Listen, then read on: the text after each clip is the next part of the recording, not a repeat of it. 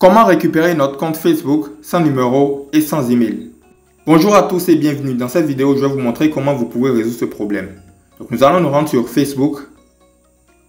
Et là, nous n'avons ni notre email ni notre mot de passe. Donc nous allons retourner en arrière.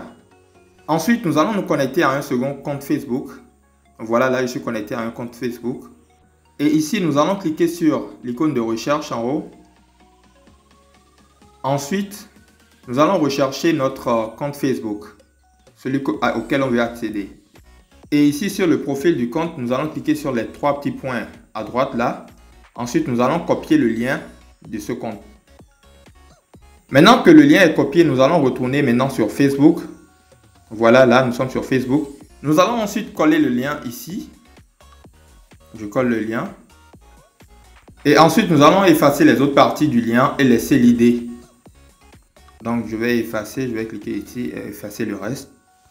Donc maintenant, nous avons besoin du mot de passe. Ce que nous allons faire, c'est que nous allons retourner en arrière et aller dans les paramètres. Nous allons ouvrir les paramètres. Ensuite, nous allons scroller en bas et rechercher Google. Nous allons cliquer sur Google. Nous allons donc tomber ici voilà, ici, nous allons cliquer sur gérer les comptes en haut là. Et arrivé ici, nous allons scroller à droite et cliquer sur sécurité. Je clique sur sécurité. Et là, nous allons scroller complètement en bas et cliquer sur gestion des mots de passe. Là, nous avons nos différents mots de passe enregistrés. Nous allons cliquer sur Facebook et nous allons tout simplement copier le mot de passe. Après avoir copié le mot de passe, nous allons ensuite retourner en arrière et repartir sur Facebook. Et maintenant coller notre mot de passe tout simplement. Donc je colle le mot de passe.